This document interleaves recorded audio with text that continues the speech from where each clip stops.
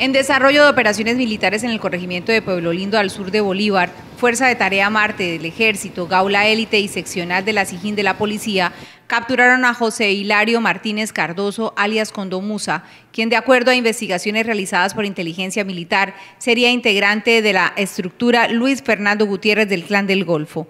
Este hombre es señalado de ser el encargado de recolectar las cuotas producto de extorsiones realizadas en este corregimiento. Según la autoridad, su captura se dio en flagrancia portando un arma tipo revólver sin numeración. Alias Condomusa presuntamente es cabecilla urbano de ese grupo ilegal y fue puesto a orden de la autoridad competente para su respectiva judicialización.